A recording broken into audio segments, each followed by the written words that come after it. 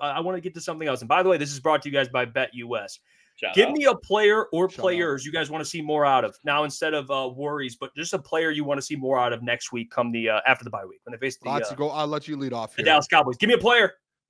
I- I, I feel like we all kind of have the same guy in mind, but I think specifically against the Cowboys, no Demarcus uh, Lawrence, no Micah Parsons. Jared Goff's he's gonna have a little bit more time. Play action's gonna be set up. Give me Sam Laporta. You saw him look healthier against the Seahawks. He's hitting.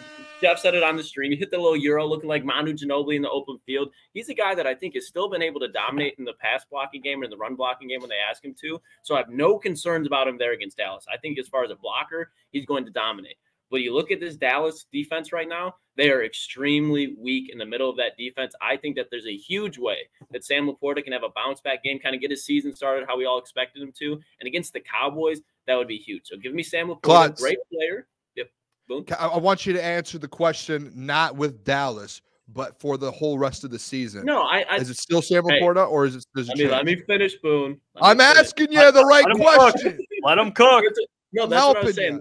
Dallas, Dallas will be the get right game for Sam All Laporta. right. So I understand we're talking about through the regular Thank season, but Sam. Laporta, we can all agree, and as we talked about it yesterday, not even his fault. He's just been dealing with injuries, kind of banged up since training camp. Didn't do much in training camp, but he's a guy that's an All-Pro level caliber player, and he hasn't had that production yet. I think against Dallas, it gets him right. Good opportunity to do so, and throughout the season, we see more of the Sam Laporta that we wanted to see coming into the year. All right, There you go, Boone. Yeah, no, Are I we happy? Are we happy?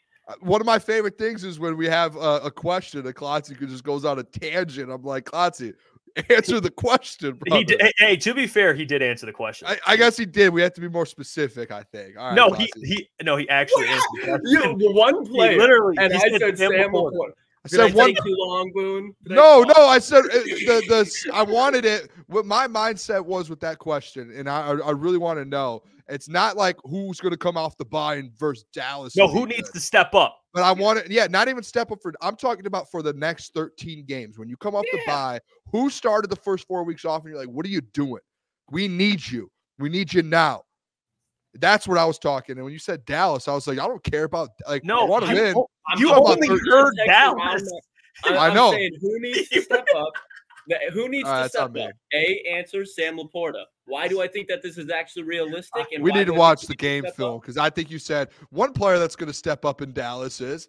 Um, What's going on, guys? It's Jeff Iafrate. I interrupted today's video to tell you about the sponsor of today's video, and that is BetUS. And they are offering the Crunch Time Sports community 150% on your guys' first three deposits with promo code YouTube150. Promo code YouTube150. Head to betus.com. They have a ton of lines that you can get in on now. Like this one that I really do like a lot. Aidan Hutchinson, to win defensive player of the year. He comes in with the sixth best odds at plus 1100. I'm going to go ahead and put $100 to win $1,100 and lock it in. There you go. And not just this, there's a ton of other lines, Detroit Lions related, and go check them out only on Bet US.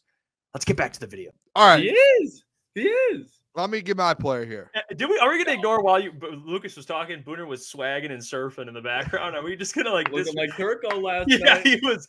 I was not. I was Sure. not dancing. I was doing All right. nothing like that. I All don't right, go- dance. go ahead, My Boone. goddamn take. Hey, who needs job. to I, step up? I, I, I do enjoy dancing a little bit, boys. You get me going a little bit. Hey, who needs to step up in Dallas, Boone? No, I'm just kidding. no, I, this is it, guys. The second half of the season, there's uh, you could you could actually say a couple players at this position. There's like I'll say there's a posi- position. Josh Paschal and this edge rush group outside of Aidan Hutchinson, we need something from you. And if Brad Holmes isn't going to go out there, excuse me, I'm a little coming off of sickness. If Brad Holmes isn't going to come out and he's not going to go out there and go uh, get an edge rusher and trade for someone, you need some guys in house to step up. I don't care if it's Josh Paschal. I don't care if you say Mekhi, we need you to go to the edge. Or hey, we need to bring some guys up from the practice squad. I don't know.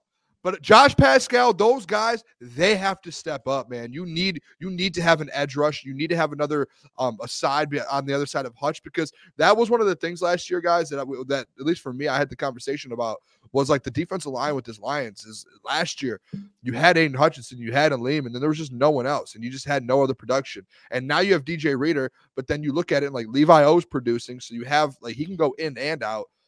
But after that, who? Like, who has there been? And James Houston's not it.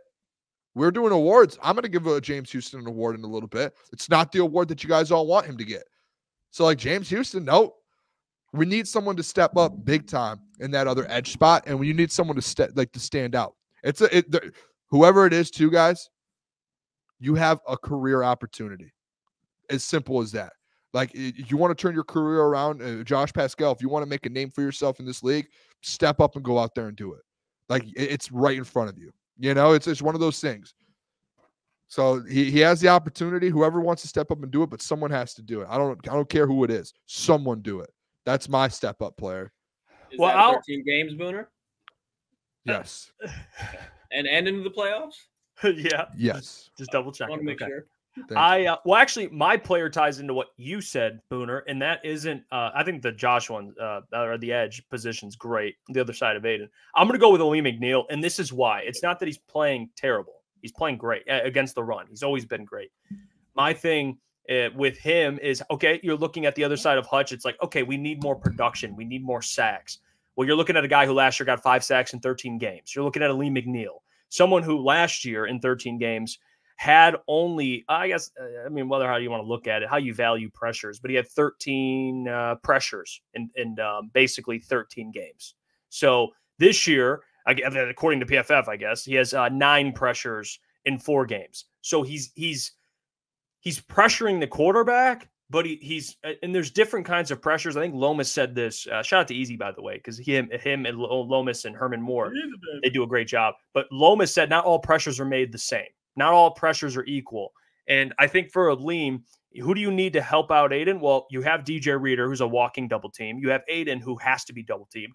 And I think Alim McNeill, uh, uh, going forward, can be that guy. He can be someone that can get you anywhere from seven to eight sacks in a given season. So I do expect a lot of Alim. This is a guy who's in a contract here. This is a guy that the Lions expect to, to bring back, and it's a guy that we and including our chat and a lot of Lions fans expect to have a, a pretty big year. Am I asking for Aidan Hutchinson production? No. But when you have a guy next to you that's doing what Aidan's doing, like Alim's job becomes that much easier. So for him, it's just getting after the quarterback, but more specifically getting sacks. And I know Aidan always says this too. It's like sacks, how do you judge it? Just it's just you have to be at the right place, right time. And I think they'll start to come for Alim. Um, but again, there's a difference between pressuring a quarterback and getting him on the ground, which Aidan has been doing. Like he's getting pressures, he's getting sacks. And there's going to be times where you're facing a better quarterback and Alim might pressure him, but Dak will still step up in the pocket or escape the pocket and throw a dart. So for Alim, I, I, I need more pass rush out of him in terms of getting sacks. So I'm going to go with Alim McNeill for a player that I expect to step up. Like I know he will coming out of the bye week and moving forward. So um, that is the player for me. Hey, What's going on there? It's Jeff Iafrate. Appreciate you for finishing the video. You can check out one of the videos here suggested or show support by commenting, liking, and subscribing. And buy your merchandise, officialctsports.com.